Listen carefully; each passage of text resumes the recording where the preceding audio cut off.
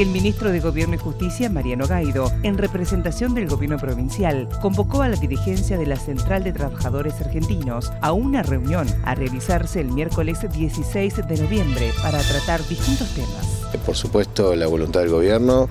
es una voluntad de diálogo, de un permanente este, y presente diálogo con todos los sectores. Es un momento de construir soluciones en conjuntos, así que lo hemos convocado al secretario general de la CTA en representación de, los sectores que representa la CTA para una reunión el día miércoles 16